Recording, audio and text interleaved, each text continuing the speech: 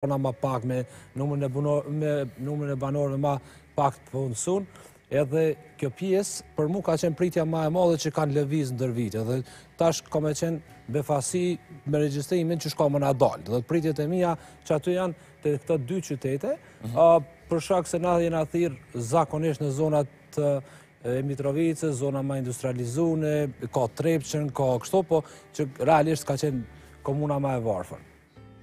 Edhe këto statistika, cilado qofshin, nuk kanë me qenë befasi, për shkak që nuk kanë me qenë befasi as për udhëheqësin e krejt kësaj, zotin Kastrati, për shkak se Agjencia e Statistikave ban matje, ban projekcione, ban anketa, ban planifikime dhe përafërsisht e din sa banorë kanë me dalë, e din në bazë të matjeve të vazhdueshme sa kanë me qenë, edhe për krejt ata që kanë bo planifikime nuk kanë me qenë befasi. Kanë me qenë befasi për institucionet të cilat me ose pa qëllim kanë bo ndarje të gabume të buxheteve, kanë bo investime të gabume qëllimshëm, mhm. kanë bo planifikime dhe keqplanifikime për interesa të caktume. Na kontekstualizon, për shembul? Për shembul, nëse tash na dalin ma pak banorë, GDP-a për kokë banori ka me na u rritë. Edhe qeveria nesër ka me dalë, me u krenu se mrena 10 viteve na kemë rrit GDP-në për kokë banori, që realisht është, sa është, 6.000 diçka aktualisht, nëse na dalin 200.000 ma pak, na del rreth 8.000-shit. Pra, GDP-a për kokë banori ka me na u rritë dhe qeveria ka me dalë me u krenu nesër me thonë që na mrena mandatit tonë është rrit GDP-a për kokë banori. A nëse na dalin ma pak banorë, ka me dalë... Edhe papunësia? Po, papunësinë, na e kem pas një rast jashtëzakonisht interesant. E kemi rritë në pandeminë.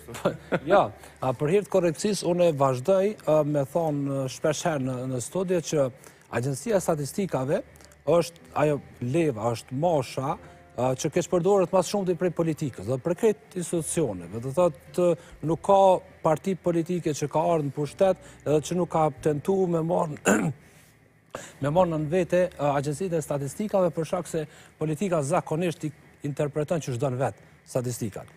Qysh kanë bo partitë tjera, edhe kjo tash. Jo me marrë, po është në kuadër të vet. Jo, jo, me e keqpërdor po flas. Jo, mi po keqpërdor të dhonat, jo mi marr këta. Jo, mi marr të dhonat janë publike për krejt, po. Ndryshe i lexojon, ndryshe i lexon Hekuran Murati.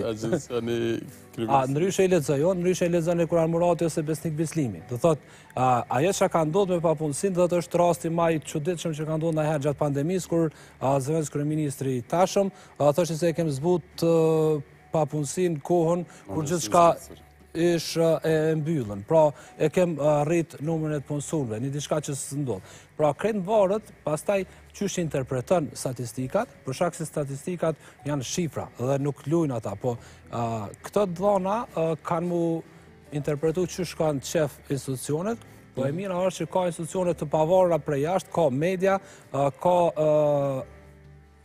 organizata të shoqnisë civile, t'cilat edhe me dash me gabu institucionet nuk është se i lojnë. I majnë përgjegjës, qysh e kemi dhe na këtë misionin që m'i majtë përgjegjës, edhe m'ia kujtu çdo politikani që Agjencia e Statistikave është në shërbim, të krejt qytetarëve, është institucion për prodhimin e t'dhanave për krejt njëjtë. Po, këto tash qysh kanë m'i interpretu... Ma shumë. Po. Oke, njëjtën temë, po, po dua ta diskutojmë me gjithë ju. Profesor, a do të vulloset kriza demografike me këto regjistrime? Po e që